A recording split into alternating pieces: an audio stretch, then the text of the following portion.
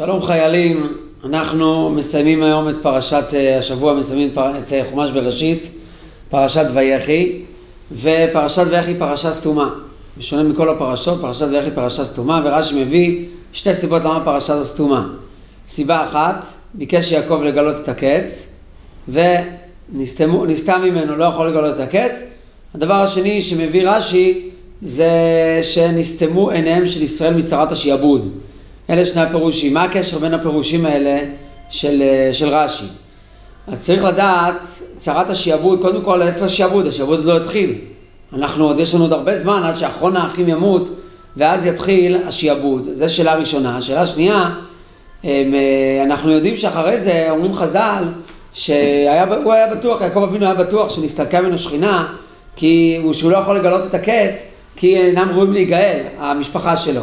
אחרי שאמרו לו שלא כולם ראויים, לכאורה היה צריך לחזור עכשיו במקום שהוא יכול לגלות את הקץ, כולם ראויים, היה אפשר לגלות, אף על פי כן נסתם הקץ. מה היסוד שנסתם הקץ אי אפשר לגלות את הקץ? העניין, העניין הוא פשוט ויש בו עניין מוסרי מאוד מאוד מאוד גדול. כשאומרים למישהו, הגאולה שלך תבוא עוד 400 שנה. עכשיו, מה יקרה ב-400 שנה האלה? האם האדם ייקח אחריות על החיים שלו? האם הוא יגיד, הגאולה תלויה באחריותי? לא, הוא יגיד, יש קביעה, יש הקדוש ברוך הוא קבע תאריך. זה באחריות של הקדוש ברוך הוא עוד 400 שנה להביא את הגאולה. איך הוא יביא את הגאולה עוד 400 שנה? זה עניין שלו, לא שלי.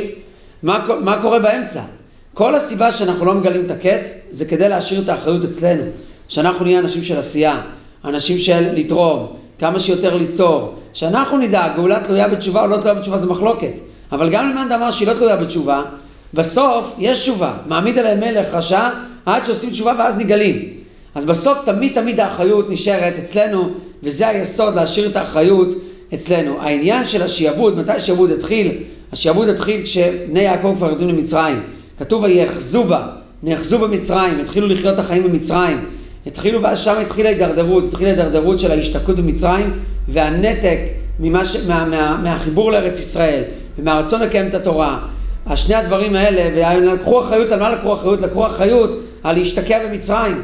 וצרת, הש... וצרת השעבוד באה כדי להוציא את האחריות מלהשתקע במצרים ולהחזיר את האחריות, לחזור לארץ ישראל ולהיגל. ובפועל אנחנו רואים שהגלות התקצרה, התקצרה ב-210 שנים. למה? כי משה רבנו לקח אחריות. משה רבנו שר לראות, כשהבוער בוער הסנה, הסנה הבוער, הוא שר לראות, הוא לא מפתח אדישות לדברים. אדם שהוא לא, בלי אחריות הוא אדם אדיש, אדיש למציאות. אדם שיש לו אחריות הוא אדם שמסתכל כל הזמן מסביב לראות מה חשוב. משה רבנו שר לראות, וירא לראות את המראה המוזר בסנה. מתוך ההתבוננות הזאת והאחריות שהוא לקח, זכה ונהיה מנהיגם של ישראל. שיהיה לכולנו שבת שלום. Good Shabbat, good Shabbat, good Shabbat.